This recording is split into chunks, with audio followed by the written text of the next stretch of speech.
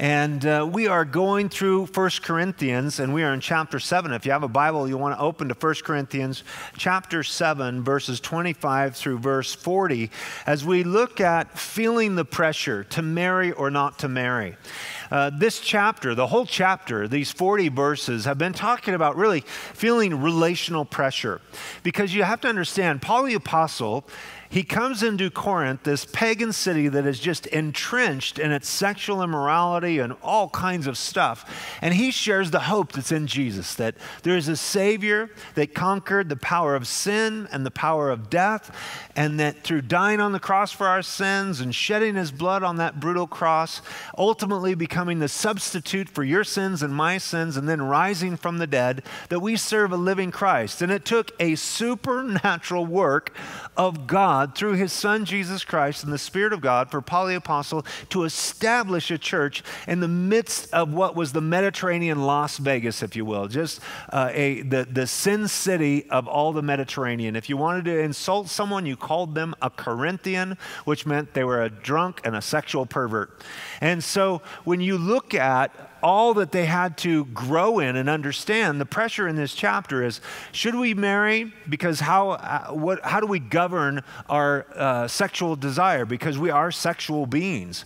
And so he talked about um, getting married or if you can, remaining single as a Christian. And so we talked about those things. Then he talked to Christians that were feeling the pressure. They, some were in bad marriages and getting divorces, and how should all of that unfold? And then there were also those who were married to unbelievers, uh, a, a Christian woman married to a non Christian man, and vice versa. And all those different things, they create pressure. The Christian life, the Lord never told you and I that this Christian life was going to be a cakewalk, that it was going to be easy. He just promised to be with us us through the process. And so he's never going to leave us or forsake us through all these ups and downs. And so now we come to this section that these single people actually want some more insight. Now, what do you mean it might be good if we stayed single? Or what are the uh, advantages of being married? And what are the challenges, if you will, of being single? And so, as we unfold this, there are five thoughts in these verses from verse 25 through verse 40 as we look at feeling the pressure to marry or not to marry that Paul the Apostle wants to share with us. And he puts these bookends on it, if you will, in verse 25 and verse 40. He has no prior revelation from the written word, but as the Holy Spirit has given him judgment and the Spirit of God is inspiring him, this is inspired scripture and inspired advice because you see, they asked some questions, but we don't have the letter with the questions. So, as we pick it up in verse 25 through verse 28, we see our first thought the pressure of distressing times. It says now in verse 25, Now concerning virgins, I have no commandment from the Lord, yet I give judgment as one whom the Lord in his mercy has made trustworthy. I suppose, therefore, that this is good because of the present distress, that it is good for a man to remain as he is. Are you bound to a wife? Do not seek to be loosed.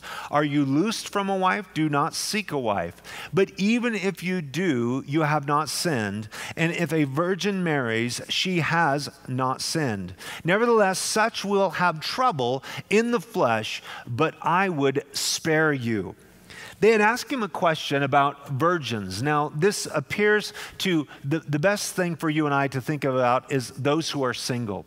Obviously, when they talked about virginity, especially from a Jewish background in which Paul the Apostle went and preached at synagogues first, there was a very strong morality surrounding sexual things for the Jewish people.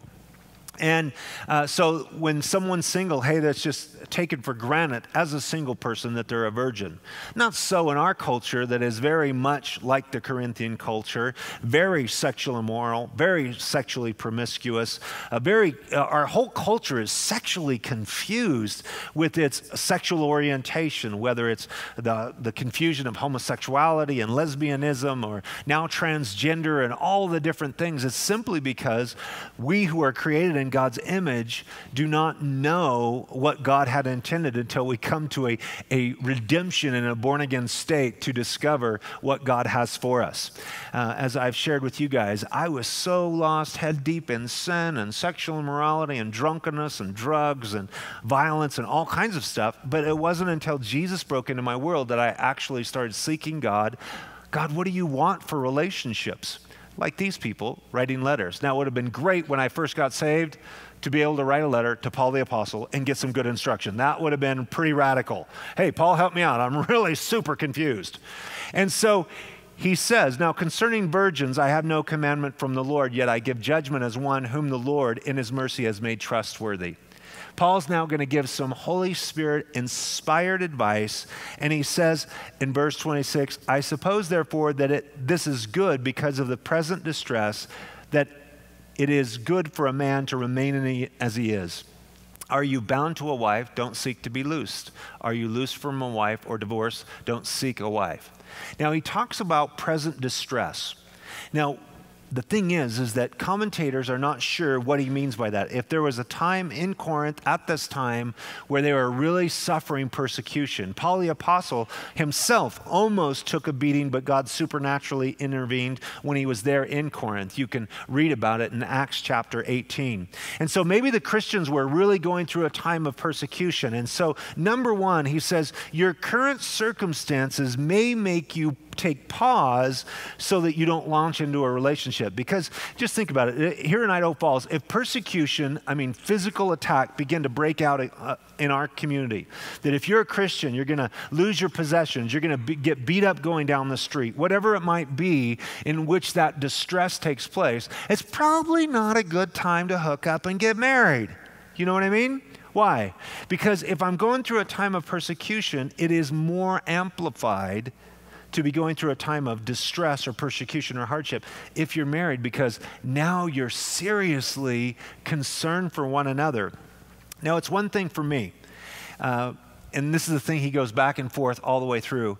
Like if I'm going to experience persecution or I'm, I'm going to be, get beat up for my faith and, and even heaven forbid my life be taken, I'm like, okay, that's the cost of being a Christian.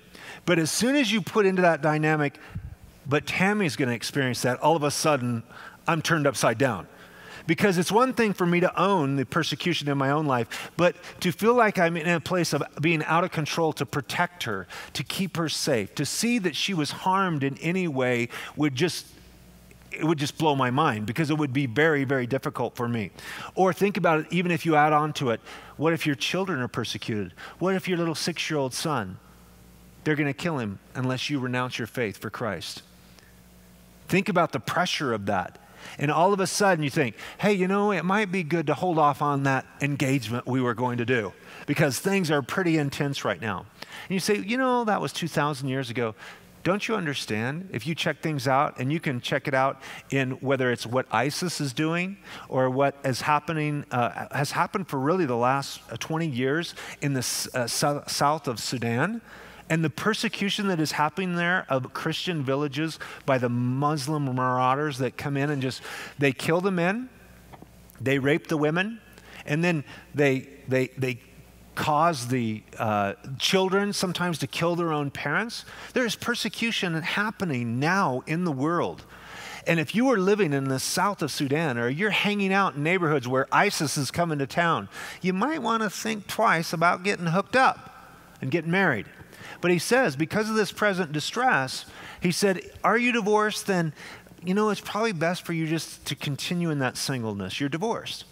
Are you married? Don't be trying to work on getting rid of your wife or your husband or leaving them because just don't change that dynamic. Now, back in verse 17, chapter 7, verse 17, he said something that's a principle through this whole area. He says this But as God has distributed to each one, as the Lord has called each one, so let him walk, and so I ordain in all the churches.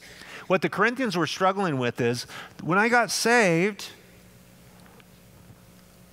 I was married to a non Christian, so they were divorcing those people. They were getting out of this job. They were trying to maybe run away from their slave owner because there was an issue that Paul answers when it comes to slavery and different things. And all of a sudden, as soon as they got saved in an internal supernatural experience with the true and living God, they wanted to change all their outward circumstances. They wanted to change their address. They wanted to change their marital status. They wanted to change their occupation. And, and Paul's like, wait, wait, wait, wait, wait. What has happened to you is supernatural, this work of salvation. But God called you while you're this person's slave. God called you in this marriage. God called you while you're single. God called you living in that neighborhood. God called you. And where God called you, He called you for a purpose. And that is for you and I to be salt and light where we work, our neighborhood, where we live, in the marriage, where we're, we're involved. God didn't make a mistake. And I think that this is one of the most difficult things that people have to process is that when you emotionally begin to struggle in a relationship or a situation and you want out, you just begin to tell yourself, oh, God wants me out. That's not always the case. I tell guys that are struggling in their marriage, you know, if you spent as much time thinking about getting out of this marriage, if you spent that much time trying to make this great, you would have the best marriage in the church. You're just always in your mind trying to get out. You're trying to get out. You're trying to get out. You're trying to get out. What's your problem, man? God saved you for a purpose. He saved you to transform you. Now, in that process, he tells us in verse 28, he says, But even if you do marry, you have not sinned, and if a virgin marries, she has not sinned. Nevertheless, such will have trouble in the flesh, but I would spare you. There are two things that seem to be pointing to this trouble in the flesh that Paul's trying to spare the brothers and sisters from. And that is the distressing time compounded in the marital relationship is going to create trouble in the flesh. What does that mean? You're going to have a hard time getting along, right? Now, when it comes to one of the challenges of marriage, is you're going to have trouble in the flesh. The day you say, I do, there is part of you inside of you that says, I don't. Meaning, I do want to marry this person, but you say, I don't want to be selfless and loving them. And that's the key to marital bliss. If you want to have a marriage that is the closest thing to heaven on earth, begin to deny your self centeredness, husbands and wives, and begin to love each other, and you're going to have the most blessed relationship you can possibly have. But you and I wake up some days not feeling very selfless. We're kind of like, what about me? How come, what about me? How come you're not doing anything for me? When have you done something for me lately, right? You guys are looking at me like you don't even know what I'm talking about. I'm going to have your spouse get up here and testify a little bit in a moment. If you don't get a little more responsive in this. Now, one of the, ma- one of the challenges in marriage, it's, it's not bad, it's just a challenge, is that to discover two individuals that lay down, because they love Jesus, filled with the power of the Holy Spirit, they lay down their life in supernatural, selfless power. And the more you lay down your life and you give up your life, then you find life. Jesus said this this is, this is the paradoxical miracle of the Christian life. And unless you own this and figure this out, you're going to be a frustrated person. Jesus said, If you will give up your life for my sake, then you'll find life. What is he saying? If you'll begin to live selflessly for my name and my glory and for my purposes, and you'll let go of your self centered will and decisions, and you'll begin to give your life away to other people, you're going to discover this incredible paradox. Hey, I actually fulfill, feel fulfilled, fulfilled, I feel fulfilled in, in my relationship, okay? And so he says, but if you seek to save your life, what is he saying? If you seek to have your way and get your, your will done, then you're going to lose your life. If you seek to live a self centered life, you're going to lose life. And you'll lose relationships. And you'll lose marriages.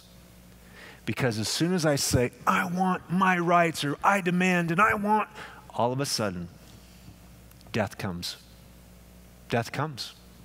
It comes to that relationship, it comes to my soul, it comes to my mind, it comes to my thinking, it comes to the whole process. Because you see, as this person created in God's image, I have thoughts, I have emotions, and I have a will to make decisions. And my thoughts, as I'm thinking through life and my emotions. My goal is to get my emotions lined up. And this is where people get confused. Uh, your, your emotions are, are like a spoiled brat. They never want to do the right thing. They're always running off the wrong way. Your emotions, right? I know God wants me to do this, but your emotions are like, no. And you're trying to get them lined up, right? So that your thoughts and your emotions and your will, the decision you're making, oftentimes, I tell people, I'm moving through life and I know what God says, and I know I make the decision based upon what God says and based on those thoughts. And about 70% of the time, my thoughts, my emotions, and and my will are all lined up. About 30% of the time, my emotions are all in the wrong spot. Why? Because my emotions are governed by my own selfishness. Because I have this fallen nature that doesn't like to get along, it doesn't like to play well, it wants its way. And so you're going to have trouble in the flesh, right? Just think about it. If you have two individuals, and they're laying down their life selflessly and they're loving one another, even that 30% when the emotions are not lining up can be a bit of an emotional train wreck, right? In the marriage, right? And woe unto the couple when the husband and wife both have an extremely bad day. And you, you, you want, you know, your own, own deal. Well, we've got a long ways to go. What am I doing talking so this long? We got, we got a long ways to go. So, next, he says, the pressure that there's not enough time. Check it out, starting in verse 29 through 31. But this I say, brethren, the time is short, so that from now on, even those who have wives, check this out, should be as those they had none, as though they had none.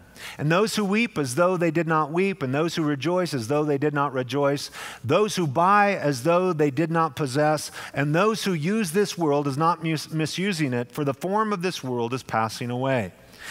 Now, he brings this back into a, a, a uh, an exhortation for all of us. This is for everybody. Verses 29 through 31 is for all of us. And that is, time is short. Now, why he encouraged people to hold off changing their marital status, either single or married, before was because it was a time of distress going on in the Corinthian um, region or whatever it might be. Just like when we're in an extreme, uh, difficult circumstance, we're sending soldiers to war and people are coming to me and they're saying, hey, the soldiers, my, my fiance is leaving next week. Should, we want to get married. I'd say, you know, do you want to do that before they go? And why don't you let them, why don't you let them go to war and then come back and figure this thing out because it's a time of distress. Now he says, because time is short. Now it's short in two ways. Time is short, and he, he means, as Paul says this so often, is time is short. The Lord is coming again. The Lord is going to come. And so you and I should get our spiritual priorities in order. And as we get our spiritual priorities in order, because the Lord is coming, we want to be the most effective in our Christian life as we possibly can. And so, since time is short, not only because the Lord is coming, as it says in Romans 13 11, it says, And do this, knowing the time, that now it is high time to awake out of sleep, for now our salvation is nearer than when we first believed. You see, every day that goes by, I'm one day closer to the Lord's return. He's coming again. And so I should live as a married man, as a single man. Doesn't matter. Married woman, single woman. We should be living in light of the Lord's return. And it's a motivation to walk with God. Just think about your life. If you think about the Lord's coming, you want to be fruitful. Anyway, I do. I want to be fruitful in my Christian life. But secondly, time is short because my life is short and your life is short. It tells us in Psalm 39 5, Indeed, you have made my days as handbreadths and my age age is as nothing before you. Certainly, every man at his best state is but a vapor. Selah. He says, Every man, every woman at our best state, we're just a vapor. We're here today, we're gone tomorrow. And the word Selah throughout the Psalms, it means it's a, it's a musical pause that you pause and think about it. Just, just think about how short your life is, right? I'm 50. It seems like life is just raced by. And and so life is short in the time that we have. The length of our days, Moses tells us in Psalm 90, verse 10, the days of our lives are 70 years, and if by reason of strength, they are 80 years. Yet their boast is only labor and sorrow, for it is soon cut off and we fly away. Isn't that true? 70 to 80 years, that doesn't seem that old for those who are 70 to 80 years of age. My dad's 77, my mom's 76. They don't seem that old to me. They seem like they're, I mean, they're both able bodied and, and it doesn't seem that old. And yet that's the window, 70 to 80 years. And that's all the time that you have. And so, what should we do at that time as far as priorities are concerned? He says, those who have wives should live as though they don't have wives. Now, we have to put that in context of all the other scripture. You always have to compare scripture with scripture, meaning that Paul the Apostle is saying here, maybe because of the distressing time, time is short, that they're in a window of time where their service to the Lord, and we don't know the details because we didn't get the letter that had the questions in it. So it's kind of like Jeopardy, where you get the you get the answer without the question, and and so he's saying, you know what, you, you should really be sold out in your love and service for the Lord, even us married folks. And it might be that there's uh, more energy and effort given in the service to the Lord than at other seasons in our life where it's, it, it's been invested in our marriage. Now, obviously, you want to have a good marriage. So that means, number one, you need to have a good partner in which you can love and serve like this. I'm blessed with an amazing wife that we have went through seasons. I have uh, drugged my uh, wife hither and yon in service to God. And we have lived, uh, we went and joined a staff to where we lived in Sunday school rooms with, you know, tall, green, 70s shag carpet. And it was a Sunday school room. And I moved my wife into the Sunday school room. We lived at the church in a Sunday school room. Uh, we had to, uh, basically, there were 30 people that lived on this campus. And because the church was going through such a time of distress, that there almost had to be this free labor and service. And so we, uh, I worked my brains out six days and five nights a week, and it was the most difficult time of our entire 29 years of marriage. And Tammy, for, the, for, the, for months, Tammy cried every single day because it was so hard.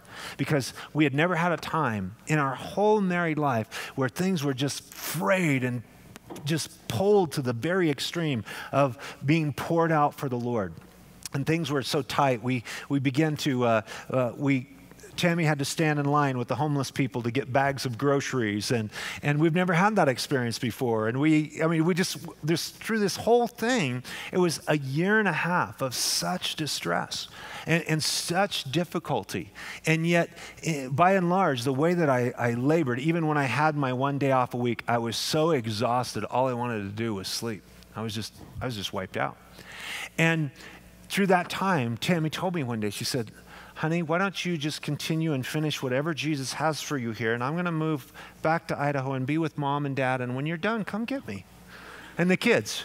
And I said, honey, that's not going to work. I got to have you with me. She's like, yeah, but I never see you anyway because you're all you're doing is serving the Lord. And so she, she was very supportive. It wasn't like she was saying, hey, I'm leaving you, I'm divorcing you. Well, she was saying she's kind of leaving me. But uh, I mean, in a healthy way, she's like, I'll be waiting for you, honey, as soon as you get done. You know, with this season of living in Sunday school rooms and, and, and, and, and laboring like this. And there's been season in our life. And, and Tammy and I both, now when we look back and all that God produced inside of us, the love and the sacrifice and that season, we'd do it all over again in a heartbeat. It was one of the best boot camps we've ever had in our Christian life. It was awesome what we learned and how we grew and how we went to new depths that we did not know we had.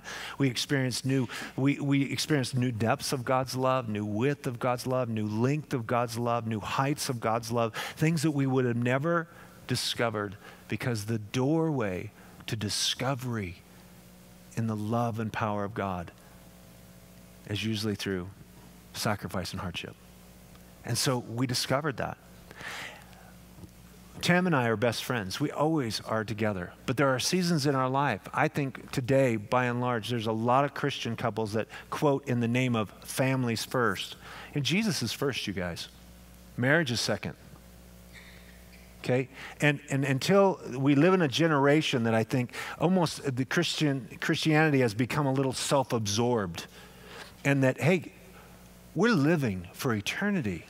There are people lost and going to hell. There are people that need to be loved and experience the grace of God. And how is He going to do that? He's going to do it through our lives. And so there are seasons in which those things are a real challenge. He, he says this to everybody And there needs to be a balance, as we'll talk about just in a moment in a marriage, that you have to have a partner. The Bible talks about in uh, the book of Acts Aquila and Priscilla. And here was a couple that they were just wired for ministry and service together. They just loved, and that's the way Tammy and I, we're just, we're just wired for labor and love and service together. And it just makes us stronger in our walk with God. But sometimes you don't have a spouse that's there. So you have to be sensitive to that and not over, overplay your hand. He, he says, those who weep as though they do not weep, those who rejoice as though they did not rejoice. What's he saying? Hey, you know, some of us are going through our life just depressed and weeping all the time, and and once again, we should be living for Jesus in eternity. There are those who are rejoicing their way through life. Ha, ha, ha, ha, ha. All they want is just, you know, light-hearted laughs. And yet there's, there's a kingdom to push forward in this uh, day and age in which we live. It says, those who buy as though they did not possess, meaning that we don't sink our roots deep into this world. This world is temporary, you guys. The things of this life are temporary. They, they're not eternal. They can't satisfy. And he says in verse 31, those who use this world is not misusing it. Meaning you and I, we live in this world. I use Walmart. I use Winco. I use the gas station down the street. I use money. I use my debit card. I have things that I've invested. But in the thing, the, the thing is, is that we use this world, but this world is not our home. We're pilgrims. We're passing through. Heaven is our destination. That's where we're going, man. We're on our way to heaven. And so the things of this life, just hold on to them loosely. They can't satisfy like Jesus can satisfy. But what is he saying? There are those who are weeping and wasting their time. There are those who are frivolously, or that's probably the wrong word. There are those who are in an unusual way. They're just looking for the laughs and the kicks in life. And this generation is YOLO, man. You only live once. Let's just have fun. Yeah, but eternity's coming. So there's nothing wrong with, with having fun and having joy and, and having laughter in your life. But if you're always just living for a thrill and a laugh rather than the glory of God, then y- you need to reprioritize. He says, For the form of this world is passing away. This world is temporary, and we're living for an eternal world. Now, he tells us that there's pressure because of distressing times. He tells us that there's pressure because we're running out of time. And then he tells us that there's um, the pressure of being married. And what is that pressure? The desire to please another. That's at the core of every marriage. I don't know about you husbands, but I love to see my wife smile. Whatever can put a big old fat smile on my wife's face, I'm all about. And my wife loves to put a smile on my face. And it's strange, I don't know. But the same things don't put a smile on each other's faces. So those are different. What's he say in verse 32?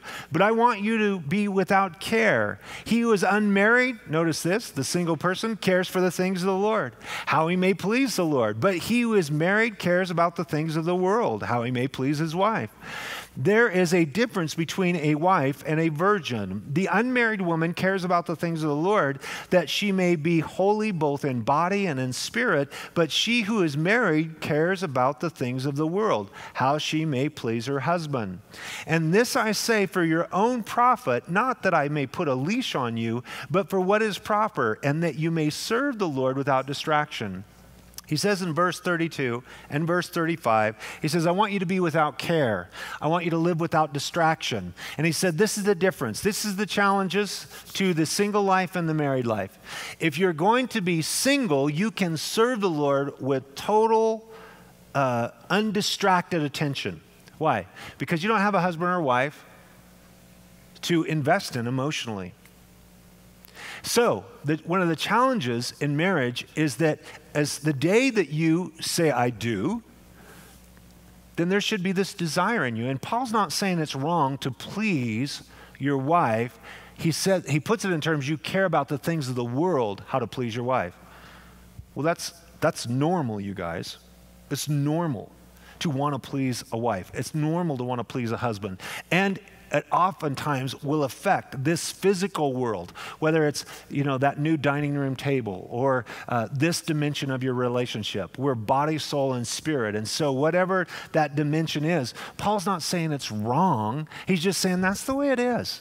Married people now go through life not just pleasing themselves, but they have another person that they are connected to. The two have become one flesh that they now need to please. So I, I find out what pleases my wife, and I love to please my wife. That's a blessing. That's why we've been married for 29 years. That's hopefully why we'll be married for another 29 years.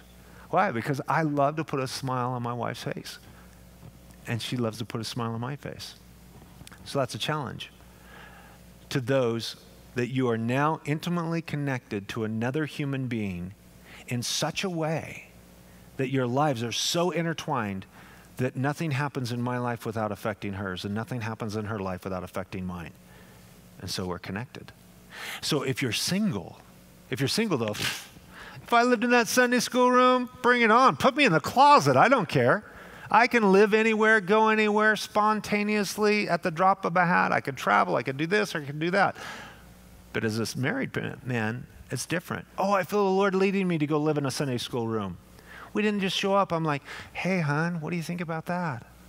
Want to pray about it? She was like, well, I got to see it first. She wants to check it out. You know, we had to go to do the tour of the, the green shag carpet uh, Sunday school room. She's like, yeah, this is not too scary. She's an Idaho girl. She's, she loves Jesus. She's, she's all in. But you see, I had to take her into consideration through that whole process. And then when we, the Lord's moving on my heart to uh, move to Pocatello and started a Calvary Chapel. Hey, hon, I feel like the Lord's wanting us to move to Pocatello and start this church. Said, what do you think about that? You want to pray about it? You want to be thinking about it? Yeah, okay. We start praying together. We start spying out the land, checking it out. She's all in. Why? Because she's amazing. Hey, honey, I feel like the Lord wants us to move to Idaho Falls and start a church in Idaho Falls. What do you think about that? What's Idaho Falls like? I said, I don't know. Let's go check it out. So, all along, I have this other person that I have to consider now. Why? Because I want to put a smile on her face. Because she's the best, next to Jesus, my wife's the best thing that's ever happened to me in this life. Tammy's the only woman I've ever loved in my entire life. And when you think about how you're connected to one another, and I can't, I can't, I can't move through life without affecting her. And she can't move through life without affecting me.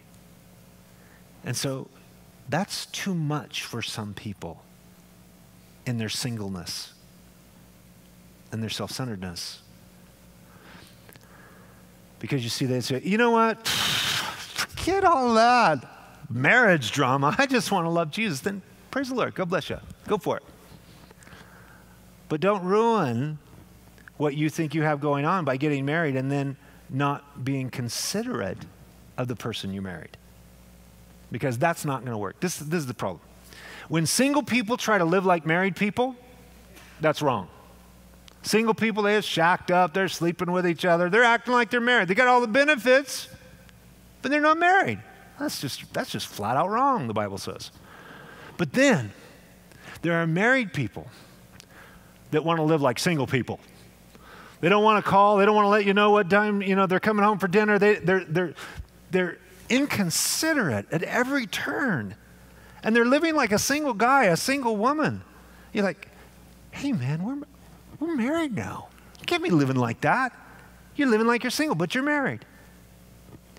So Paul tells us. Now, I just have to give you a, a word of encouragement that Paul the Apostle was gifted to be single.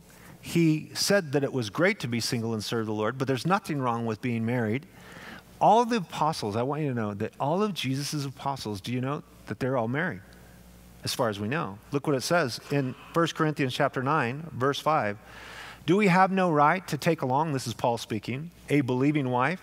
Or do also the, uh, as do also the other apostles and the brothers of the Lord, these are the half brothers of Jesus, and Cephas, who is a, which is another name for Peter. And so, it's really uh, a challenge to learn how to strengthen your walk with God, learn how to be skillful in your relationship with your spouse, and then be satisfied. Now, you need to be strong, skillful, and satisfied whether you're single or you're married. What are you? You single? Are you satisfied? Oh, I hate being single. Can't wait, can't wait, can't wait. Get married. Now, do you think that getting married is going to solve all your problems? Dude, wake up right? As I've shared with you guys many times, when you, when, single people, and I'll meet married people. And this is the thing that I think that the Lord is really speaking back in verse 17 when he says, however you've been called. It is this sense of delay that people, whether they're single or married, this is the delay inside of, oh, I'm really going to be able to serve God once I get married because I'll have now a, a, direction to focus my sexual energy. Now I'll be, I'll be able to serve God, serve God now. I know single people, as soon as I get out of this terrible marriage, I'm going to serve God. No, now serve God now. I know there, you know, as soon as I get a new job, I'm going to start giving to the Lord's work. No, you're not. You're not giving now. When I win the lottery, I'm going to give the church some money. Well, you're not giving now, dude. You're not. It is always this. It is always this thing in their mind, like when I, when you know, when, the kids get raised, we'll actually start making ourselves available to serving God. Yeah, is that true? No, it's not true. You know what? You go through life totally deceiving yourself, saying, when X happens, I'll do Y. Let me just tell you straight up so somebody can speak some truth to your heart and your face. If you're not doing it now, you're not going to do it then. Why? Because you have a pattern, you have a habit. If you don't give now when you work at McDonald's, you won't give when you work at IBM. And if you don't love God and serve God as a single person, what makes you think that you're going to do it when you're married? Or vice versa, because you're in a bad marriage, as soon as you're out of that marriage, now you're going to serve God. What makes you think that? Start where you're at now. And then the fruit will follow. Start where you're at now, and the fruit will follow. And so, this reality that he gives to us is, is really important for us to kind of wrap our brain around. Now, he tells us also the fourth thing is the pressure of the expectation of others. Now, verses 36 through 38 are very difficult to translate because this is the way it goes. And I'm just going to do the best I can and give you these two alternative uh, understandings of this passage. One is it's talking about a guy that's engaged to a girl and he's struggling with now the pressure of others, the pressure of his fiancee, the pressure of his future in laws, the pressure of his own family, because Jewish weddings were very much uh, prearranged by the fathers. And so there's pressure from others.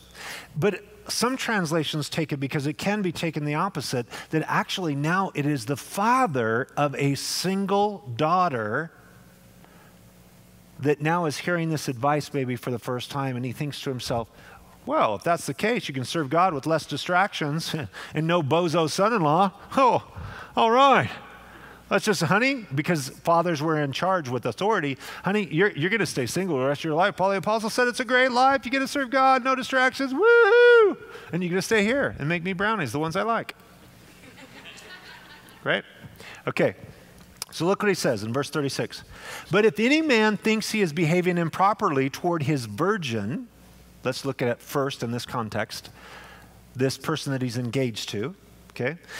If she is past the flower of youth, I'm not even going to venture what that means. and thus it must be, let him do what he wishes. He does not sin, let them marry. So if he thinks to himself, he feels the pressure, he's engaged to this girl, she's a virgin, she's been waiting for the day, and now he hears this message about serving God as a single guy, but he's engaged to this girl. It's not too, too late to break off the engagement and say, I'm just going to live a single life, but he has to take her into consideration. And he's thinking, well, she's getting older, and it's not right for me to string her along because she is getting past the flower of her youth. And, and uh, I mean, she's getting a little as the, no, don't even say it, Rick. Stop. Okay. I caught myself. You guys should be so proud of me. I didn't say it just about what I almost said. So the reality is, is that the, the person that she's engaged to says, you know what? I'm going to set her free. I'm going to break up the engagement because I'm not going to be put under the pressure from others. Whatever God leads me to do, that's what I'm going to do. It's better early than later. Now, if that is the case, he says, but if you choose, because she is getting older and you should follow through with your engagement, he says, if you marry, you don't sin. It's good. You're just going to have to understand how to please your wife. You're going to have some challenges that married people do. And then it says in verse 37 Nevertheless, he who stands steadfast in his heart, having no necessity, but has power over his own will, and has so determined in his heart that he will keep his virgin, does well. So in this case, it says, oh, but another guy that has the, the power over his own will. He talked earlier in this chapter about the gift of self control as a single person so that you don't have to. Um, you don't have to get married because you have self control over your own sex drive. And there are some people that, you know, they just, you know, we're unique, all of us, and some people have stronger sex drives than others. And so if this person has power over his own will, and it says, uh, he's determined in his heart that he will keep his virgin. He does well, Paul says, meaning, okay, they're engaged, but he's, you know what, he's going to remain single for a while and, and whatever's going to happen with this. That's why, in this context, then verse 38 so then, he who gives her in marriage does well, but he who does not give her in marriage does better. And it seems to turn on this, this thought that maybe that's the father, future father in law that's involved in that dynamic.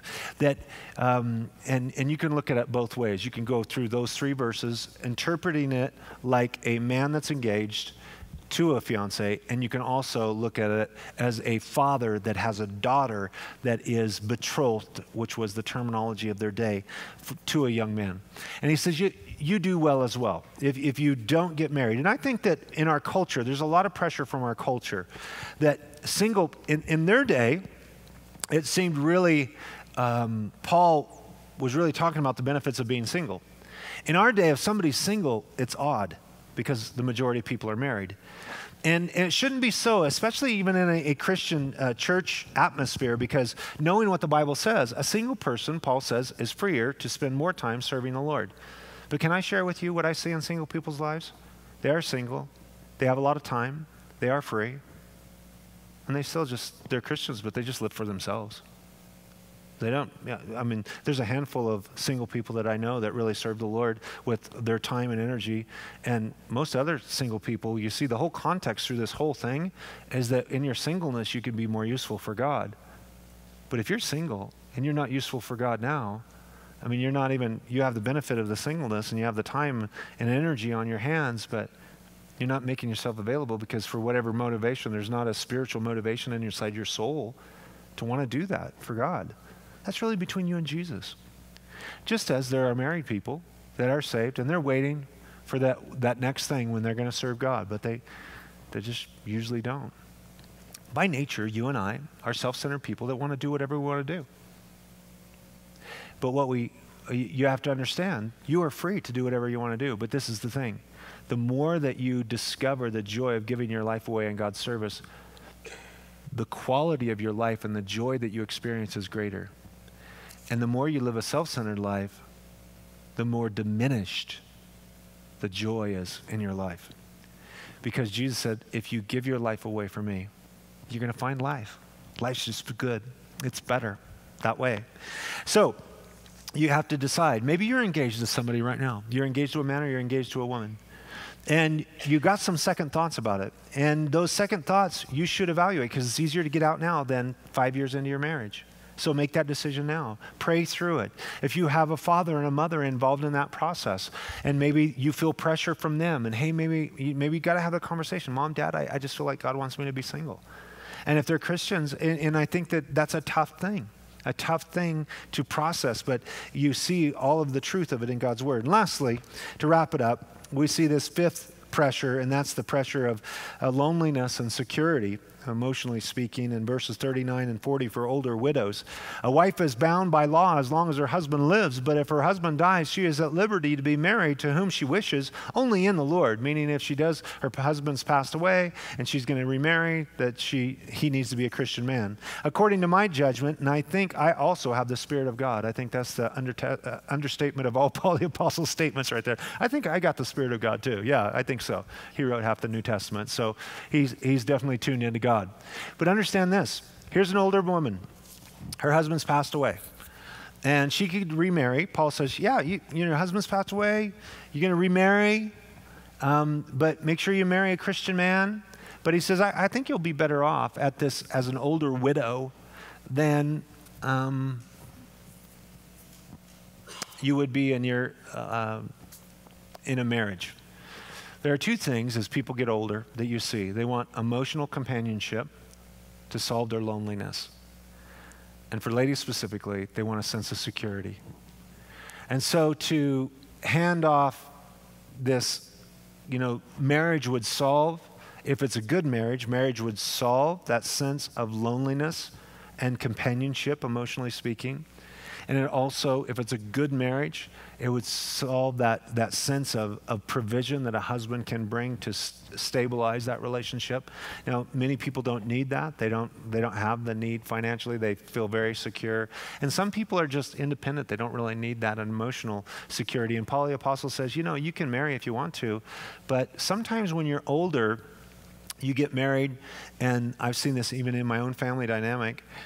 Um, a grandfather uh, ends up with another woman, and all of a sudden, there's it, it, people have, have to figure out how to have new relationships in that dynamic, and it's uh, it's different. It, it, it's just different, and so you have to sort all that stuff out. But you're free in the Lord. I don't know what kind of pressure that you are under relationally. I don't know how salvation has broken into your world to um, where you're single and maybe you've navigated through that process. I, I, you know, I was not a single Christian very long. I got saved at the age of 19. I was married at 21, but in all that time, I was I was in love with Tam, and uh, so I really had no doubt that I just wanted to spend the rest of my life with this woman. And I absolutely love the uh, everything that marriage brings. I love companionship. Tam's my best friend. I, I love every dimension of marriage. Uh, I love the dimension that I get to figure out what um, puts a smile on my wife's face. I get to figure out what makes her tick. I get to figure out what makes uh, a marriage work. And for me, that's, I, I, just look at it as an adventure. It's just a big discovery to figure this out. And you go through different um, phases and you have you know the kids and the kids grow up and move away and get married and go to school and do all you have all these different phases that you go through and, but for those who are single, I've talked to a lot of single people and prayed for a lot of single people. And can I just share with you? I mean, a good marriage, there is nothing closer to heaven on earth than a good marriage. And I get to taste that and experience that. But when marriage is bad, there is nothing closer to hell on earth than a bad marriage. And every marriage is going to have rough spots. Even though I'm head over heels in love with my wife, we have had rough spots. But just because we decided never to discuss divorce, and we did contemplate murder multiple times because of the challenge that there, there is. What is the challenge? My will versus your will. My will versus your will. I want what I want and where when I can get wrap my brain around dying to myself and then loving my wife, and when she can wrap her mind around dying to herself and loving me, it just has this cycle of blessing that just gets better and better. But when people dig their heels in and get self-centered, and then it just goes worse and worse and worse and worse and worse. And to, you know, I've never had anybody, I've never had anybody that's come in for premarital counseling oh, pastor, you know, we're so in love. just want to just just want to get married, okay? And, and and I've never had anybody at the end of that time. You know, we set the date, the time, when it's going to happen, all that stuff. And then they say, you know, we might as well save an appointment. Why don't you give us some counseling in about three years when we get divorced? Now, I've never had that conversation because that would be a, a kind of a crazy, insane experience, wouldn't it? What I mean by that is nobody that gets married plans on getting divorced. Nobody. They don't plan on it. They plan on, oh, we're going to live happily ever after. It's going to be awesome. It's like Disney. Right? You never plan on getting the divorce. How do you, how, how do you go from the gaga getting married? Oh, you're so in love. Can't live without this person. How do you get to that point? Said, I never want to see your face again. How do you get there?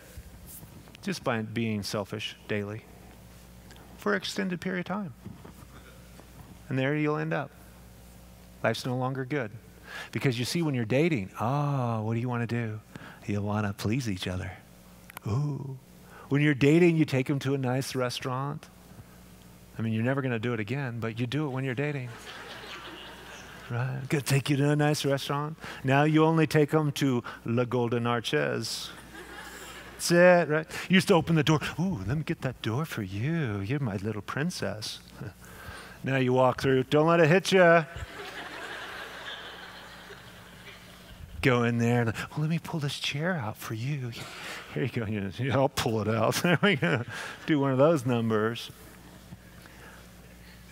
Right? You, you would stay awake.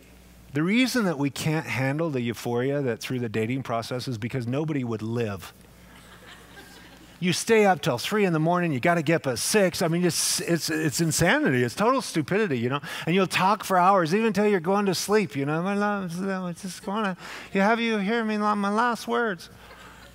And you get home now. You've been married a couple of years, and all your wife can get out of you is, uh huh. yep. Mm-hmm. Yeah.